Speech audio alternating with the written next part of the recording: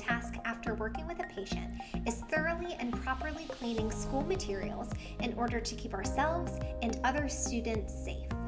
There are two ways in which school materials go in and out of a patient's room in a box or not in a box. Let's first talk about how to clean materials transported in a box. Before leaving the patient's room, place all lesson materials back inside the box to be used again during the next lesson. Then, while still in the patient's room, put on gloves and wipe down the box and any technological devices, including charging cords.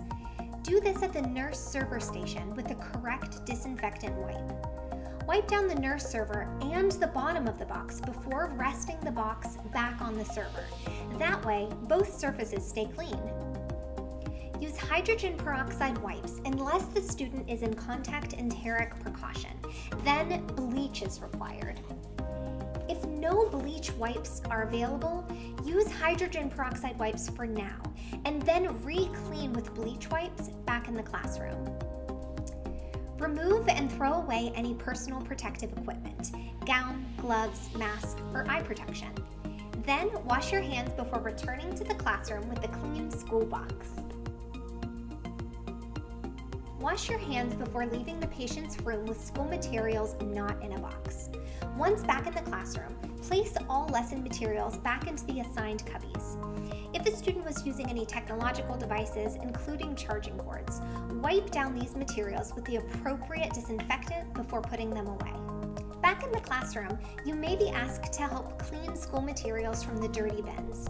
For your convenience, a cleaning guide is posted on the outside of the bin, just in case you forgot the process. Bins will be clearly marked with the wipes you should use. Regardless of the wipe, hydrogen peroxide, or bleach, the process is pretty much the same. Start by putting on gloves. Then wipe down the surface of the table where you are working. Wipe school materials one at a time before placing the clean materials onto the clean tabletop to air dry. Remember, items cleaned with hydrogen peroxide must air dry for one minute, while items cleaned with bleach must air dry for three minutes. Be sure to clean under marker and glue stick lids, between scissor blades, and individual pages of board books. After cleaning each page of a board book, stand the book up and fan out the pages. That way, pages fully air dry and don't get stuck together. If school materials are inside a bag, clean the items inside and throw away the bag. Once air dried, these clean materials can go into a new clean bag. When all materials are clean and air dried, they can be left out on the table or placed back into the clean bin. Cleaning is a big part of working in the hospital environment. For your convenience, cleaning reminders and guides are posted on the outside of student boxes and with the classroom cleaning supplies.